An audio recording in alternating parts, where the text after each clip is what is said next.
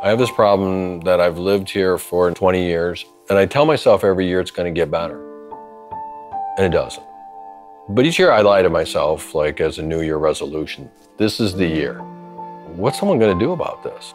And then it dawned on me well, that somebody might be you. Maybe you need to do something about this. Detroit has literally lost enough people in the last 40, 50 years to start another major city. We've lost over a million people. We are concerned about large amounts of land being amassed by wealthy white men. Some thought this might be another opportunity for a land grab. I was supposed to have the first right to this lot.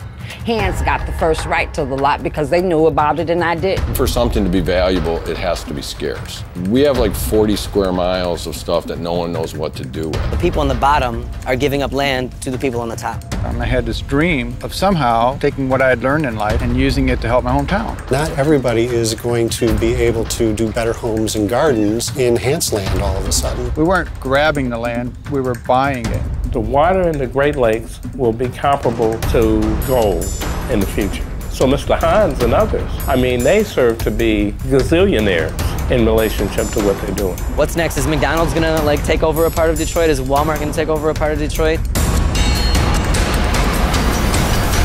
I would embrace that idea if only I could hallucinate.